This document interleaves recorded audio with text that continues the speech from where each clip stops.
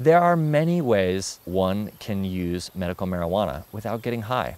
A topical cannabis formula, an oil or a lotion, can help relieve pain, arthritic symptoms, neuropathy, and other ailments close to the skin.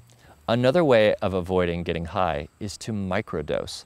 That means to take very small amounts of cannabis into your system over a long period of time, which can help regulate pain, inflammation, your immune system, and your nervous system. When cannabis is taken in different forms, you can avoid getting high. If you take it at night, for example, in an oil that is a small enough amount to help you sleep but not affect you cognitively, then you can wake up in the morning refreshed. There are also other forms of cannabis, such as CBD, which is a compound in the cannabis plant that doesn't get you high at all. So many people are making formulas out of CBD that help with various ailments.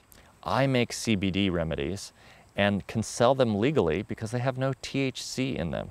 Another way of avoiding getting high with medical marijuana is to take raw forms of cannabis. When it's heated, it tends to get you high.